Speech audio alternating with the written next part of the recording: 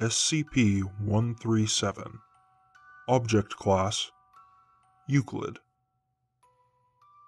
Special Containment Procedures SCP 137 is to be kept in a locked room with a hairbrush and posters depicting a country meadow to keep it placid and tractable. SCP 137 is to be fed three meals a day. Under no circumstances are any toys allowed to come within 500 meters of SCP 137. Description SCP 137 is an entity with the ability to possess a toy, gaining the physical properties, size, and shape of whatever it represents. For example, a teddy bear will become an actual bear and behave accordingly. SCP 137 cannot possess any miscellaneous object, only toys. The observed range of SCP 137's possessive effect is 250 meters, but until further testing has been accomplished, SCP 137 is assumed to have a maximum range of 500 meters from its position. SCP 137 was first brought to Foundation attention after a series of bizarre deaths and incidents involving children. The deaths were determined to be too random to be a serial killer, and Foundation agents were sent in to investigate.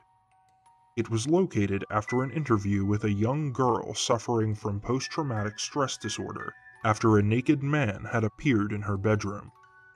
It was encountered in the same neighborhood in the form of a gorilla. SCP 137 was then tracked and finally captured when it possessed a stuffed pony doll in and was chased into the nearby wilderness. SCP 137 was tranquilized and extracted to Site 19 by helicopter. Testing has shown that SCP 137 takes on the characteristics of the toy it possesses, but only as a child might perceive it. A toy soldier becomes a violent, well armed man. A toy gun fires bullets, a toy lion attacks and kills humans.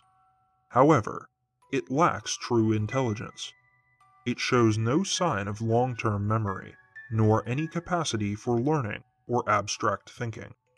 For more information, please refer to Experiment Log 137.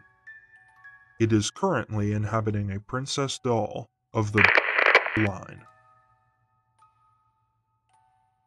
Addendum Interview 137 1. Interviewed SCP 137. Interviewer Dr. Forward Interview took place to determine what SCP 137 is, and why and how it possesses toys. Good day. Hello, I'm Princess Blossom. Are you my prince? No. Now, can you please tell me what you are? I am a princess.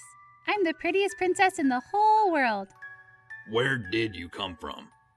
I live in a castle. Are you my prince? Further questioning yielded similar results.